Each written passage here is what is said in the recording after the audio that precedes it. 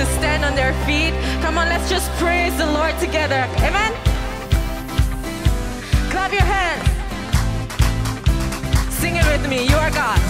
Oh, you are God. And we lift you up. We keep singing. We keep praising. And we won't stop giving all we got.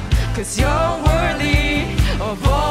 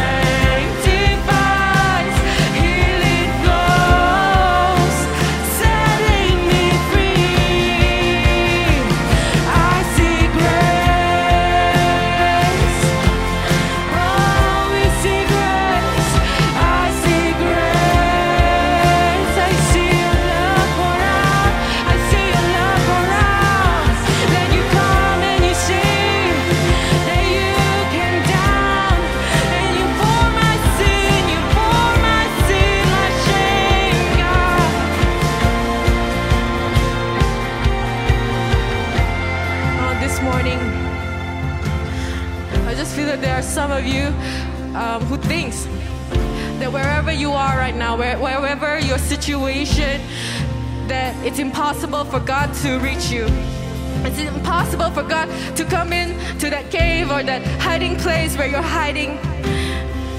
But this morning, I just want to declare and I just want to tell you that God, this God that we believe in, this God that we worship, is the God of the impossible. And He is love down that cross, He died for you and I. He died for our sin, died for our shame. And that this morning, wherever you are, whether it's you think it's too dark, but you think it's too high for Him to reach, or too deep uh, into your situation for Him to to come and reach. You know, this morning I just want to sing this over you. There's no place too dark. There's no high to. There's no doubt.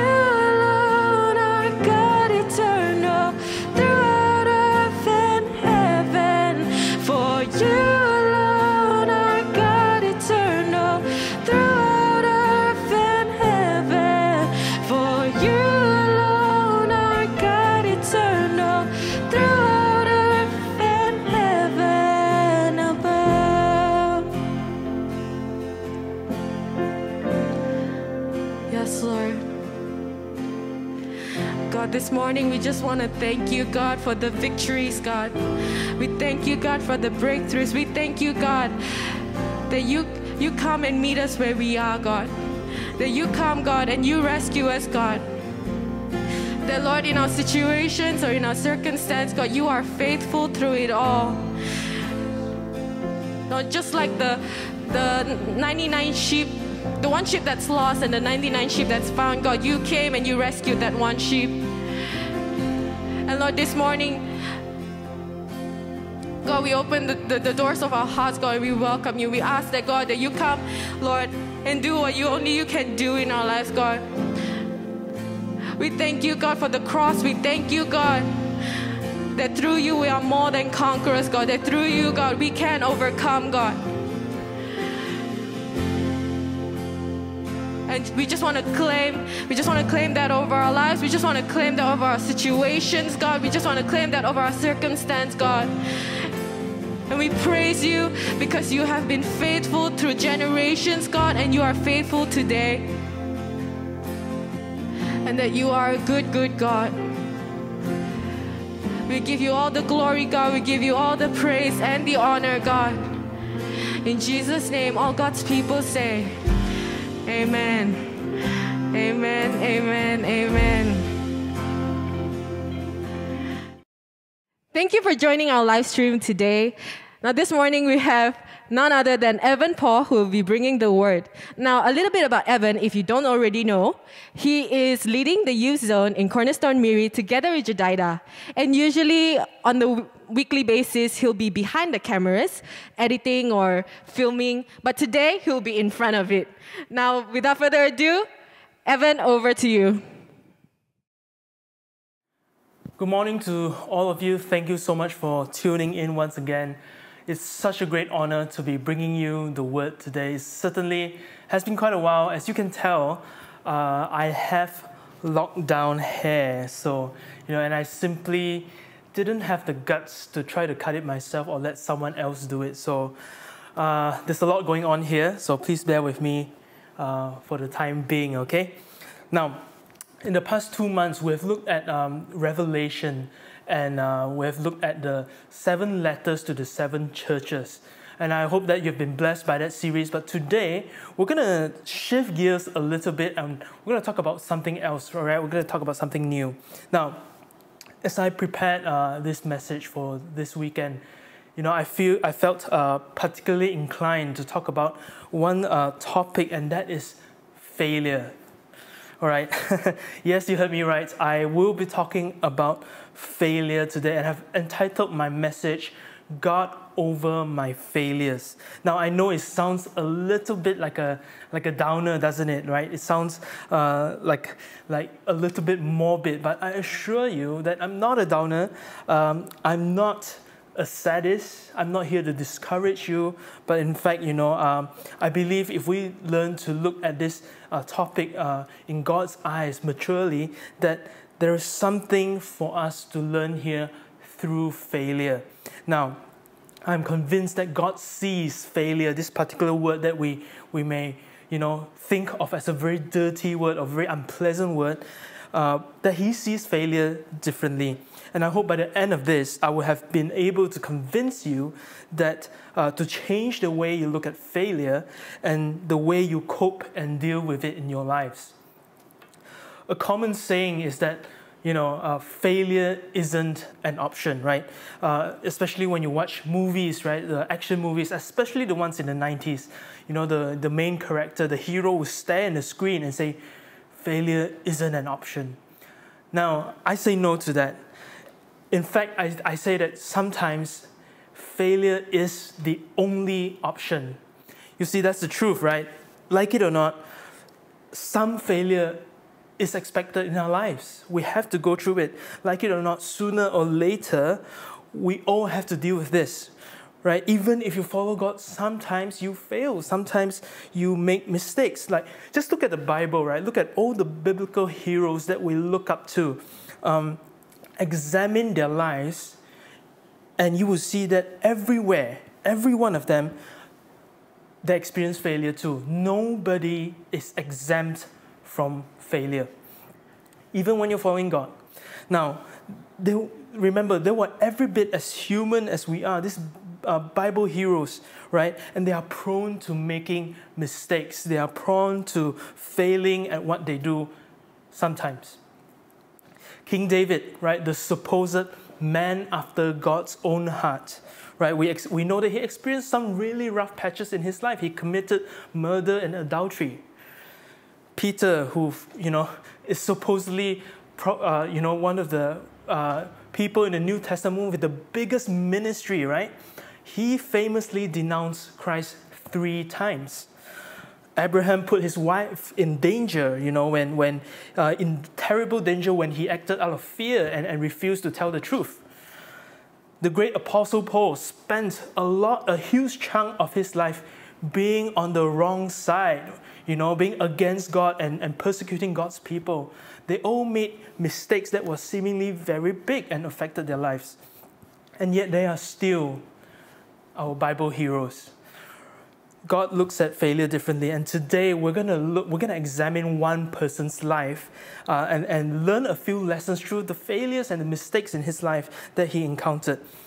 And that's Moses, right? Today we're going to look at Moses' life uh, and we're going to zoom in into three main events, right? Today we're just going to look at three events and we're going to try to draw three lessons from the life in Moses in failures.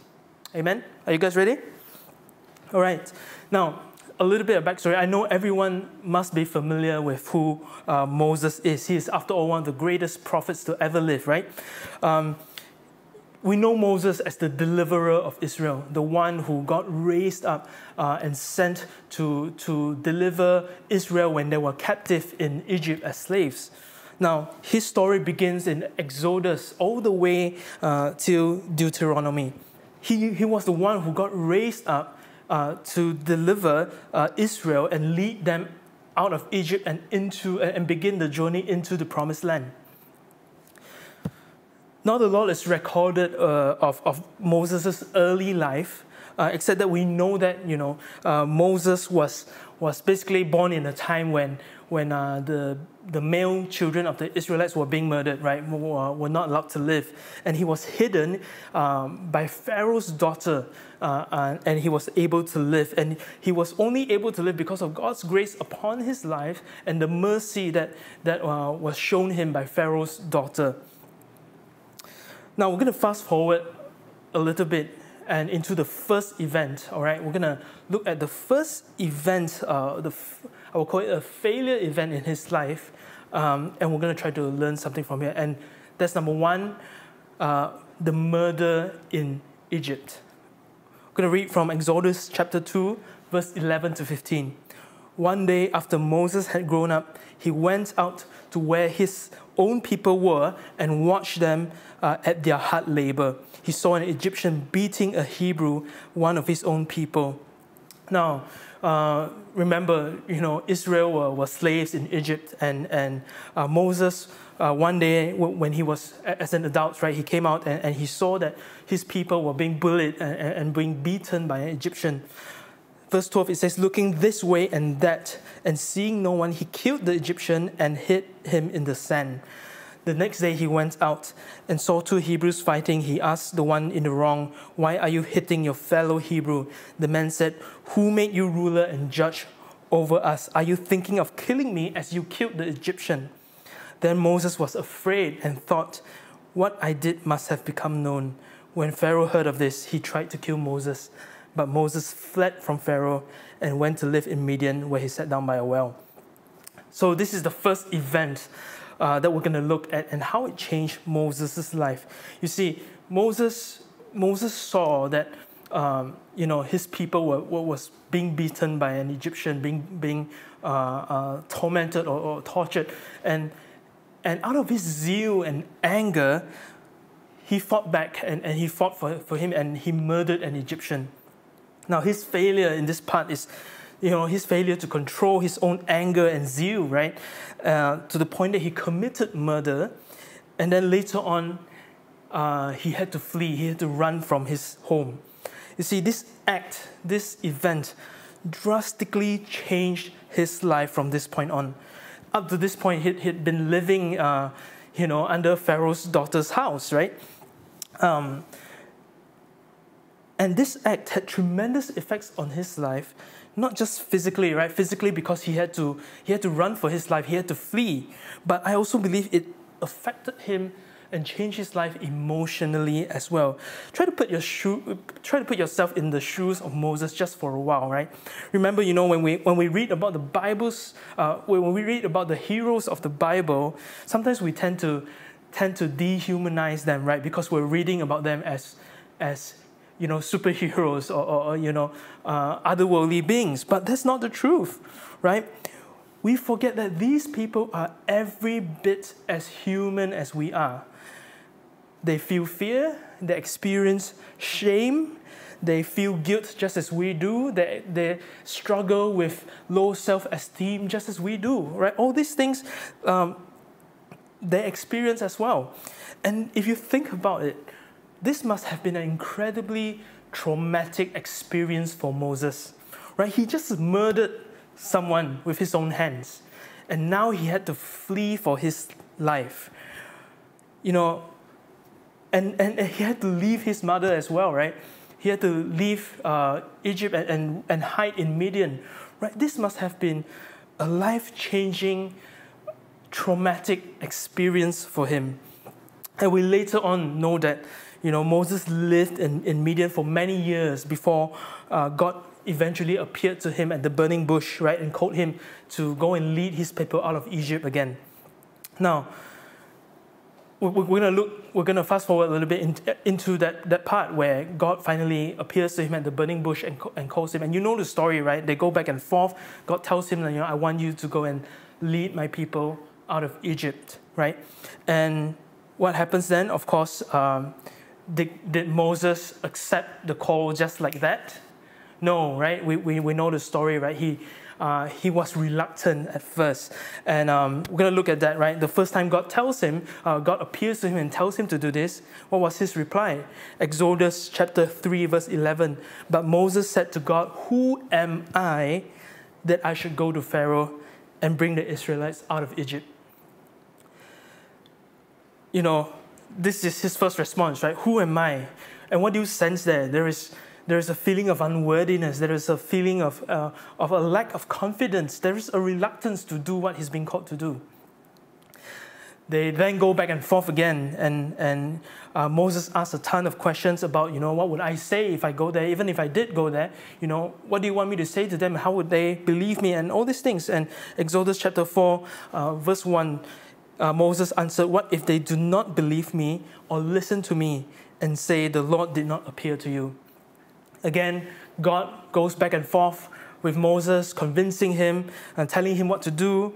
Uh, and, and God says, you know, uh, take the staff and then it will turn into uh, a snake. And, and then when you take the snake, the tail of the snake, it will become a staff again. So telling him that, you know, uh, this will be a sign and, and all that.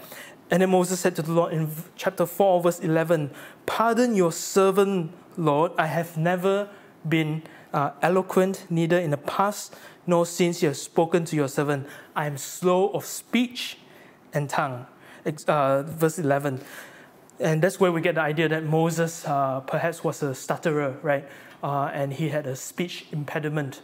So, again, you know, we see Moses trying to make an excuse here and say that, you know, I can't speak. You know, I, I can't do this, right? And then again in uh, Exodus chapter 4, verse 13, Moses said, Pardon your servant, Lord. Please send someone else. Right?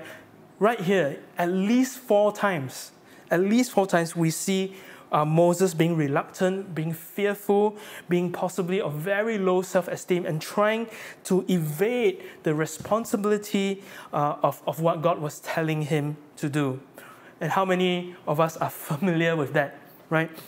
Now, the Bible doesn't tell us exactly why, you know, uh, Moses felt like that or, or, why he stuttered and things like that. But can I suggest to you uh, that perhaps it really could be related to the trauma he experienced in his past? I can imagine, I can just imagine him at that point saying, I'm not good enough for this task. You know, his self confidence must have, have been completely demolished by the failures of his past when he murdered an Egyptian and had to flee for his life. You know, I can imagine him thinking, look what happened the last time when I cared about something, when I cared about my people in Egypt, and, and look what happened then. I became a murderer and had to flee for my life. I can imagine him being, being haunted by the trauma of his past and saying to himself, No, I, I, I really can't do this, right? Who am I? That's why his first response was, Who am I to be able to do this? And this is where we get our first lesson for today. Uh, out of the first incident, right? Lesson one is this we are not defined by our failures. Amen? Now, yes, Moses was reluctant at first, right? But eventually, we know the story. Eventually, he goes back and forth with God, but eventually, he comes around and he accepts the call that God has upon his life. And God even, you know, allowed him to bring Aaron with him to, to help him, right? You see, that's the thing. God still chose him, right? At that point when God chose to speak to him at the burning bush, it's not like God didn't know uh, what had happened in the past in, in Moses' life. It's not like God didn't know the, the weaknesses and, and shortcomings that he had, right? But God still chose him. God still wanted to use him. God still they wanted to use him as, as, as the deliverer of Israel out of Egypt. See, some of us may have encountered failure in our lives. You know, uh, we made a huge mistake at some point, and because of that, we have sworn off something and we said, you know, never again, never again am I doing this, right? But you see, like I said at the start of this, God doesn't see failure the way you see it right? We mustn't let our past failures stop us from saying yes to God. Now, you know, you can wrestle with Him, you can debate with Him, you can pour out, you know, your reluctance to do it. Do what you need to do, but don't let it stop you from moving forward. Allow God to speak to you, to convince you, and to define you rather than to let your past failures define what you can or cannot do. You know, at the end, we know, right, that, that God eventually convinced Moses. And, and as Moses learned to just trust God and step into it, he became the leader that he needed to be. And, and, and that's our first lesson, right? We are not defined by, the, by our failures, right? God is the one who defines us. And he doesn't look, uh, and, and he doesn't define us by our failures. Right? Eventually, we know that Moses gives in to God, he accepts his call, and a lot of things happen, right? He went to Egypt uh, and with, with Aaron, they performed miracles, they talked to the Israelites, they talked to Pharaoh, uh, he, they unleashed the, the plagues upon Egypt, and eventually they got out of Egypt, right? They began the, the exodus out of Egypt. Now, this is where Moses uh, slowly uh, bec- becomes established as the leader of Israel, right? God begins to speak to him and to give him the commandments. Now, at this point, Moses has gone through a major uh, a character transformation from who, who he was to the leader that God uh, wanted him to be. Yet at this point now, now he, he, has, he has changed a lot, right? You know, things have been going good for him and, and they just witnessed so many miracles. And yet at this point, something still goes wrong. All right? So let's look at the second event. And that is the event of the golden calf. How many of you are familiar with that story? Right? They are out in the wilderness. You know, Moses is, is meeting with God uh, on the mountain and that's where he was receiving the commandments from God. God is telling him how, what to do and, and, and how to lead the people, what they should do. And as God is on the mountain with, with uh, sorry, as Moses was on the mountain with God and, and receiving all this, uh, what happens? The people got impatient of waiting. Remember, the people couldn't go up the mountain with Moses, right? Only Moses was allowed to go. Um, and the people got impatient. And what happened? They asked Aaron to create a golden calf for them uh, as an idol for worship. Let's go to Exodus uh, chapter 32, verse 7. And the Lord said to Moses, Go, get down, for your people whom you have brought out of the land of Egypt have corrupted themselves. They have turned aside quickly out of the way which I commanded them. They have made themselves a molded calf and worshipped it and sacrificed to it and said, This is your God, O Israel, that brought you out of the land of Egypt. And the Lord said to Moses, I have seen this people, and indeed it is a stiff necked people. Now therefore let me alone, that my wrath may burn hot against them, and that I may consume them. And I will make you. Uh, of, I will make of you a great nation. And this brings us to lesson number two is that we, we have to deal with all kinds of failures, including the failures of others. You know, take note, take note here, right? At this point, in this particular event, Moses didn't actually do anything wrong. He did everything correctly. He did what he could and should. He was, he was listening and he was with God listening and, and receiving the commandments. You know, when he went up the mountain, guess who he left in charge? Aaron, right? He left Aaron in charge. And, and, you know, Aaron was the one who was supposed to take care of things when Moses wasn't around. Now, guess who was the one who actually made the golden calf and proclaimed a feast and, and, and led the people to worship the, the golden calf? It was Aaron. Think about this for a moment and about how Moses must have felt uh, when, when he found out about this.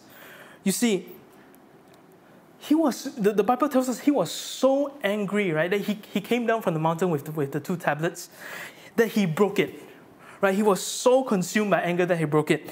Now, think about this Aaron was Moses' right hand man. If there was anybody in the whole of Israel that Moses trusted more than anyone, it must have been Aaron, right? Because this is the same Aaron who went with him to perform the miracles. This is the same Aaron who went with him to deliver Israel out of Egypt. He should have known better, right? And yet, this is the this, and yet Aaron caved into the request of the people at that point of time, and and and led them to idol worship. See, in our lives, sometimes, like in this particular story, we are Moses. We did everything right. You know, we did what we could, we did what we should, and yet things still don't go our way. We still fail because of other people. Right? Sometimes in this particular story, we are Aaron.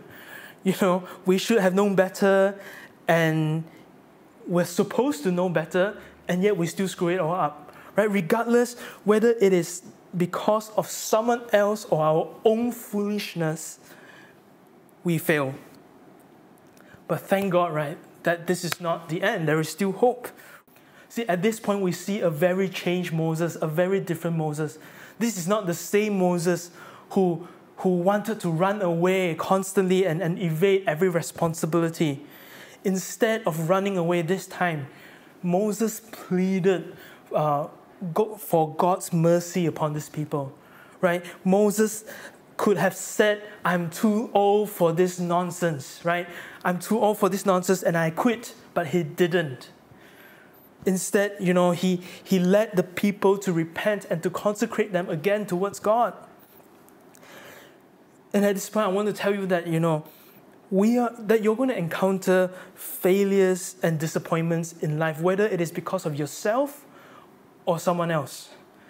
You know, especially if you're in some form of a leadership position, um, you know, people are going to fail you, and their failure are, you know, their failures are going to affect you. And in fact, you know, that I, I believe that that is the price of of leadership, of, of being appointed a leader, is that the failures of others is going to affect you one way or another, right? The failures of others become your own. And yet, I want to tell you that even though people may fail you, even though you may get disappointed by the failure of other people, by the people you trust, by that you may feel betrayed, just like Moses felt,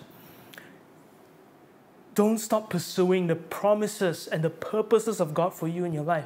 If God made you, you know, put you in a position of influence over certain people, put certain people under your care, whether it is it is a ministry, whether it is your own children, whether it is your your uh, employees, whatever it is, right? If God called you to lead, He's going to give you the grace for it. And, and though you may experience uh, failure and disappointment in leading, you know, don't give up and don't give in, but continue to pursue the promises and the purpose of God uh, for you.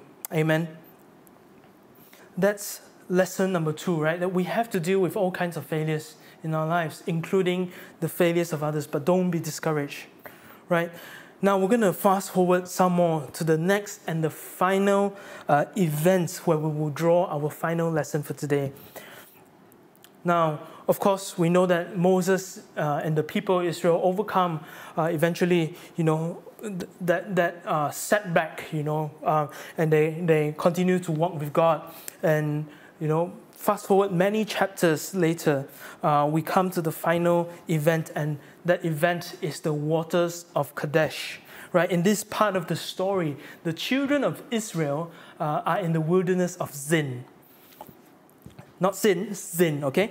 Now, the people, uh, this is where we encountered the story where the people had no water and they started complaining. So eventually they, they tell Moses and they said, you know, we have no water. And, and, and Moses and Aaron sought uh, God to, to, to, for a solution, right? Now let's look at look, look at the story, and uh, it's from Numbers chapter 20, verse 7 to 12. Then the Lord spoke to Moses, saying, Take the rod you and your brother Aaron, gather the congregation together, speak to the rock before their eyes, and it will yield its water. Thus you shall bring water for them out of the rock and give drink to the congregation and their animals. So Moses took the rod from before the Lord as he commanded him.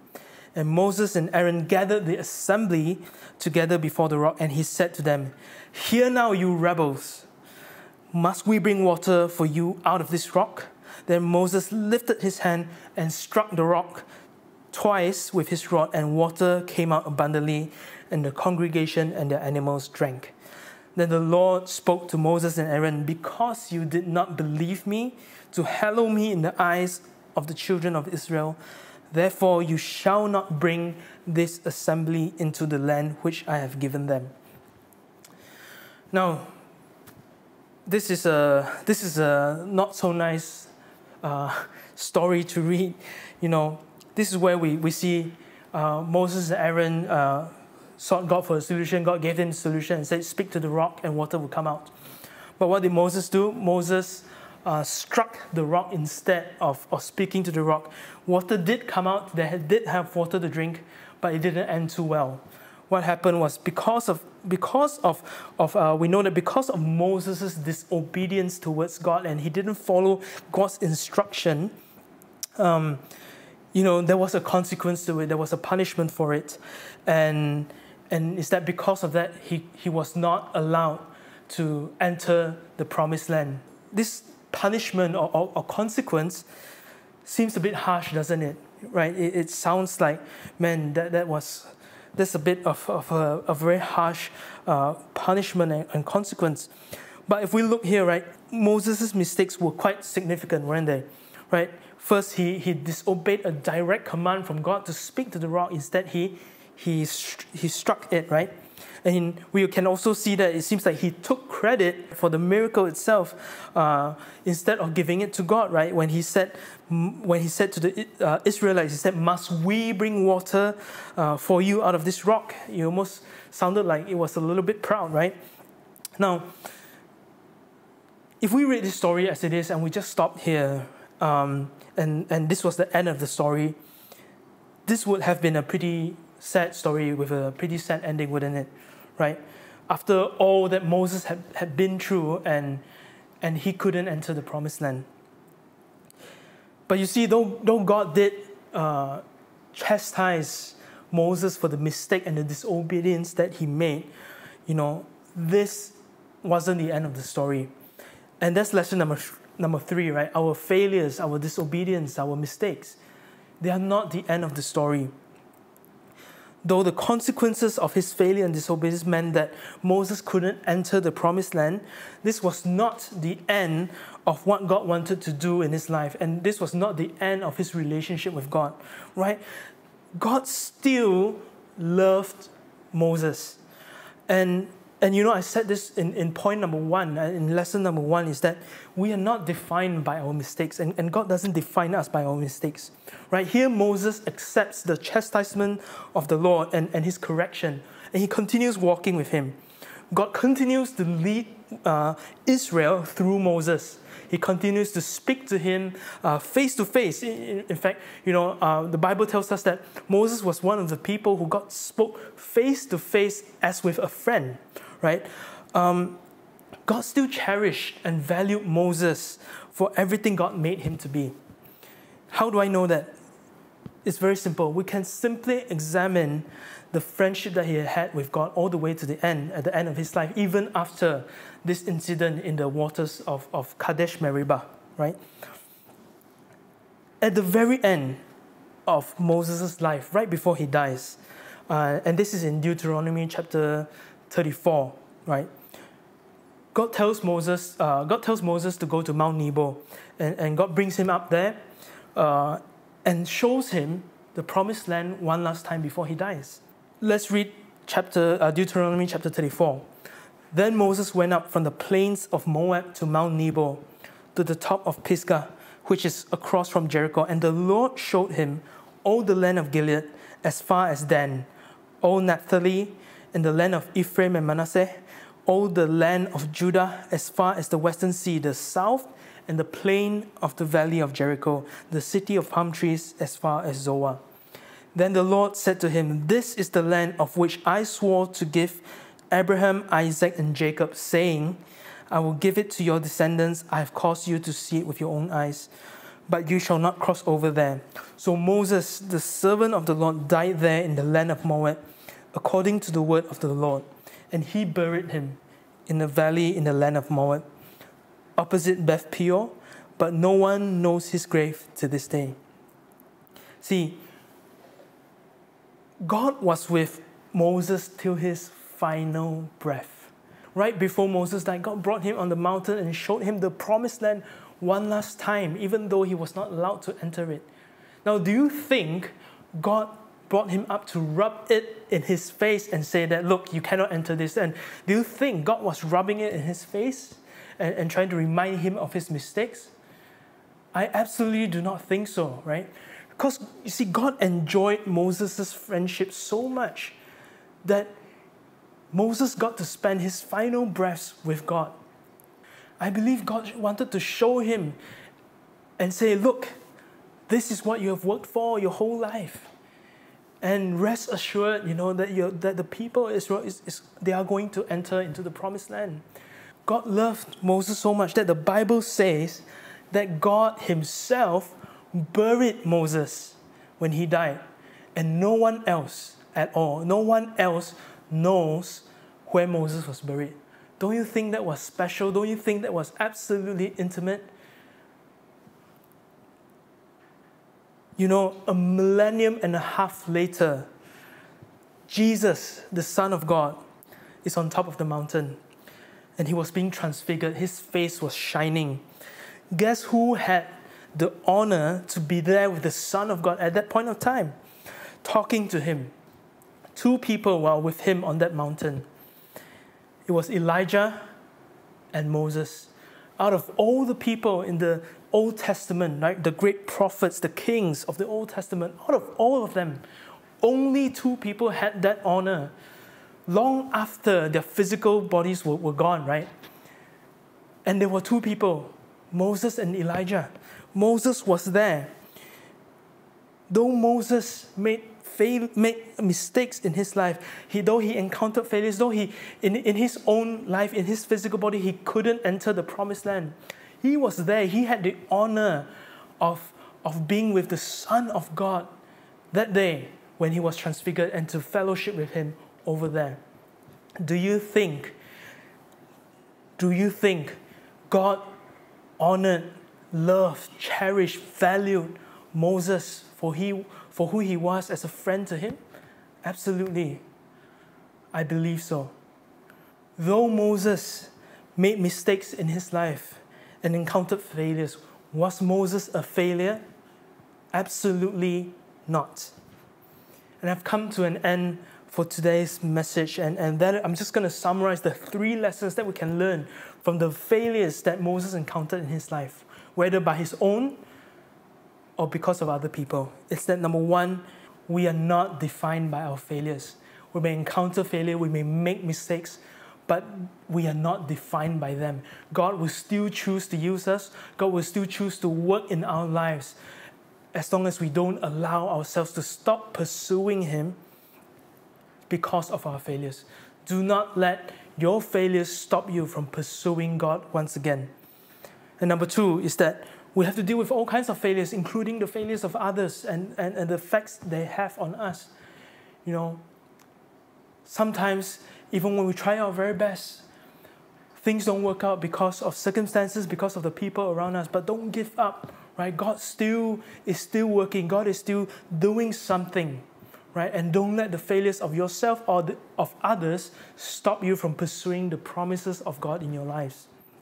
And lesson number three is that our failures are not the end of the story. Just as, just as Moses' disobedience at, at, at uh, Kadesh Meribah when he struck the rock, you know, that was his mistake. And yet that wasn't the end of the story. Though he couldn't enter the promised land, right? God still used him tremendously. And he's still regarded as one of the greatest prophets that ever lived. And he still enjoyed a beautiful, rewarding relationship with God. And I want to encourage you if you have encountered failure in your life, whether by your own mistakes or by someone else or by circumstances, do not let that stop you. Right? Let's keep on going. Let's keep on pursuing God's promises and purposes for our lives. Let me pray for you. Father, we just thank you for your word this day. We thank you for your grace and your compassion. We thank you, Lord, that you are not just God over our successes, but you are God over our failures. Nothing, nothing shocks you, nothing scares you, even, even in the times where, where we, we fail because of our own foolishness, that you was you are always there to redeem. You're always there to restore. And you do not see us for our failures, but you see us for who we truly are, who you have truly uh, created us to be. And Father, if there is any disappointment in our hearts because of past failures, if there's anyone who's, uh, who is listening to this message right now and feels defeated and, and is being haunted by, by the trauma of the past, by the failures that they've committed and, and the, the mistakes of the past. Father, I pray, Lord, won't you release healing right now? Won't you release um, a, a, a, new grace upon their lives, Father God? And Lord, I pray for, for our eyes to shift, for our focus, our perspective to shift, that we may know, Lord, that, that you do not define us by our failures, but you have a great uh, purpose for our lives. And as long as we continue to pursue it, as long as we continue to yield to you and to turn to you every single time, that even our failures are unable to stop us from fulfilling the call that you have upon our lives. Father, we thank you for your love and your grace upon our lives. Father, we just we just pray, Lord, for even greater fulfillment of those promises in all our lives, Lord. In Jesus' name we pray. Amen. Amen. Thank you, church, for staying to the end. I hope you have been blessed by the message today. You know, let's continue to persevere and continue to pursue the promises of God in our lives and not let our failures get us down. Amen. Thank you so much. We're going to go into a time of communion. Please get your elements prepared, and I'll see you in a while. All right, if you have your communion elements with you, let's come to the Lord's table in a posture of worship this morning. Thank you, Jesus. Thank you, Jesus. Father, we thank you for the ability to come before you to the table and to commune with you. We thank you, Lord, that, that you made a way on the cross for us. That when you shed your blood on the cross, that you redeem us. You redeem us from all our sins, from all our mistakes and failures, Lord. That we may come to you as your children and that we may be restored completely in you. Father, we thank you for the cup that represents your blood that was shed on the cross for the redemption of our sins. We thank you for the bread that represents your body that was broken for us, Lord. We pray, Lord, that you bless the elements even as we partake it this morning. Let's take off the bread together.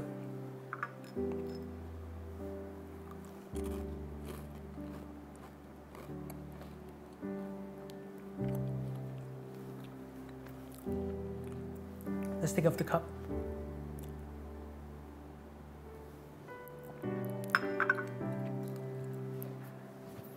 Thank you, Jesus. Father, we thank you for all that you've done for us. We receive it in faith this morning and the word that has been released as well. Father, we pray, Lord, that you will continue to lead us daily. Um, and, and, to walk with you daily, just as just as uh, Moses met you face to face and you spoke to him as a friend. Father, we pray, Lord, that we'll have such an intimate, such a rewarding relationship with you daily, face to face, Lord. So, Father, we thank you for, for all that you've done. We pray your richest blessings uh, upon your people in Jesus' name. The Lord bless you, the Lord keep you, the Lord make his face shine upon you and be gracious to you. The Lord lift up his countenance upon you and grant you his peace. And now I pray the blessings of the Father, the Son, and the Holy Spirit be with you and abide in you now until forevermore. In Jesus' name, amen. Stay with us as I roll a few announcements because we have something special for you. Now, to connect with us, you can scan the QR code or click on the link provided at the chat box, and it will link you to a Google form which you can fill in your inquiry, and one of us here from the Cornerstone will connect with you. Now, to give to your tithes and offering, you can scan this other QR code here and click on the other link provided at the chat box, and it will link you to the bank transfer details where you can make your transfer. This is a special announcement. Next Sunday, we'll be having Pastor Benjamin Chu, who is no stranger among us and who is well loved amongst us, bringing us the word. Now, he is the senior pastor of Kingdom Life Community Church in Singapore, and we're very honored to have him here next week. So, mark your date, set your alarm, 10 a.m., see you online. And finally, if you're new with us and if you're a regular, I said it last week and you haven't followed us on social media, you can do so by following us on our Facebook, our Instagram, or subscribe to our YouTube, or visit us at our website at www.csccborneo.org. Now, that's all for the announcements this week. I hope that you've been blessed throughout the service, because I sure have. Thank you so much for joining us, and we'll see you next week.